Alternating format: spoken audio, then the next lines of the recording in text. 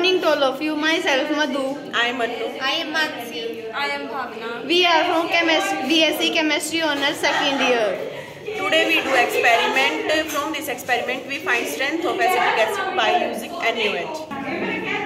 Now we start our experiment. In this experiment we need 5 ml of acetic acid and uh, N by 2 NaOH solution. And phenolphthalein indicator, burette and titrating flask.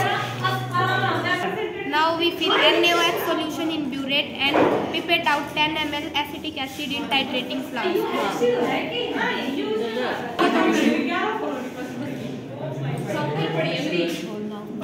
Now we add phenolphthalein as the indicator.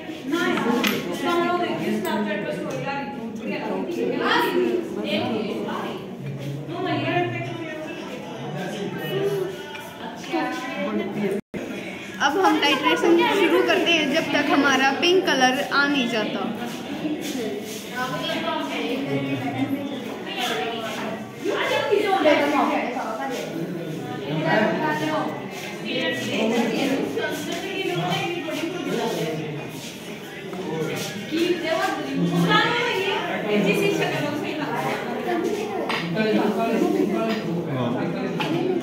Now